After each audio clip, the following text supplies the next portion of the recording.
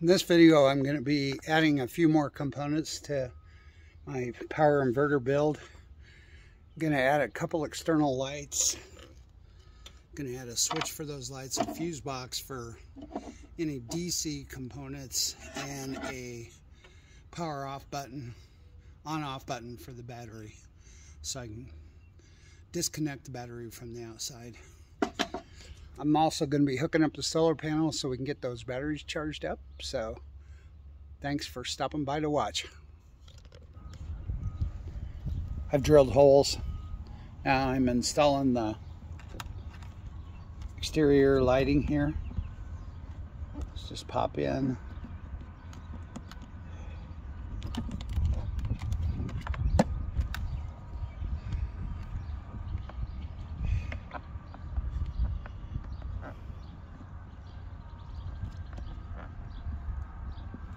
This be should be a handy feature for lighting up with an outside switch before you have to plug things in and so forth in the dark. So I've got the off on switch installed and I tested it and it works good. So it did pop out so I'm gonna have to figure out a better way to secure it.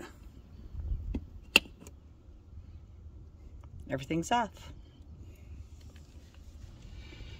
So we got uh, the exterior lights hooked up.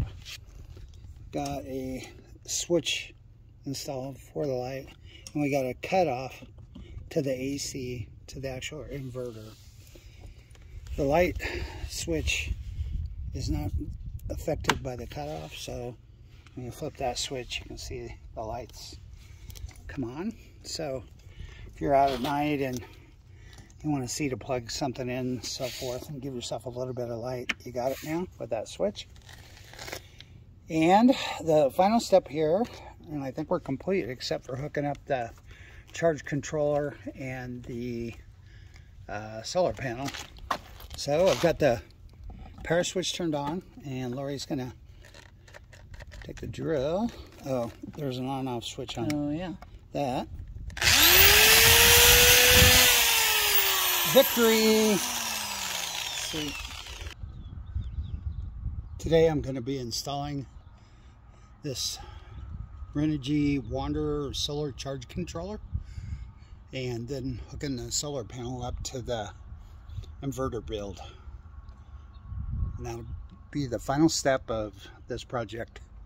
Thanks for watching. Okay, now I have the charge controller installed Got the wires that go to the battery. You can see the green lights are on. I got the cables that go to the solar panel. Now it's just a matter of hooking up the solar panel. Okay, there's the front of the solar panel. Then on the back I need to connect these cords.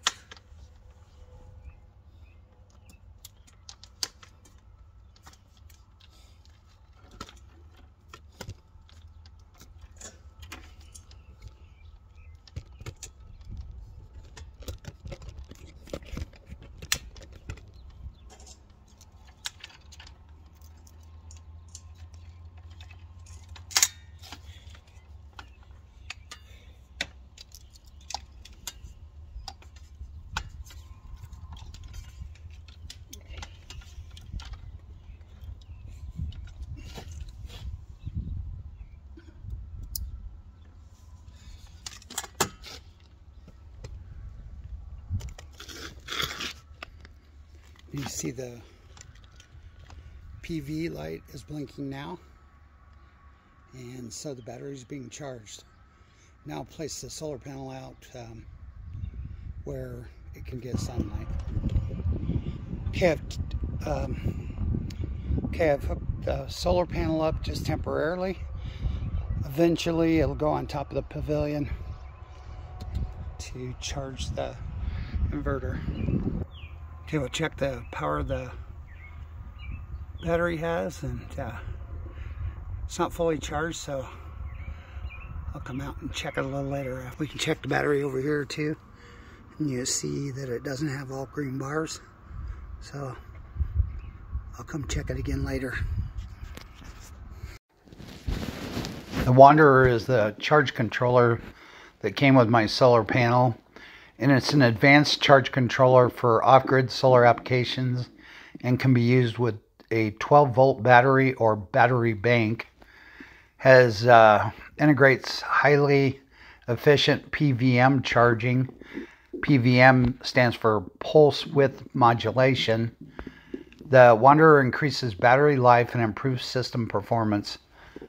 The controller comes equipped with fully comprehensive self-diagnostics and electronic protection functions to prevent charge from installation mistakes or system faults. It's got a 30 amp charging capacity. It does four, it'll charge four different types of batteries. Sealed, deep cycle sealed, gel, flooded and lithium batteries. It's got uh, the four stage PVM charging. Those four stages are bulk, boost, float, and equalization. It has built in temperature compensation and correcting the charge and discharging parameters automatically.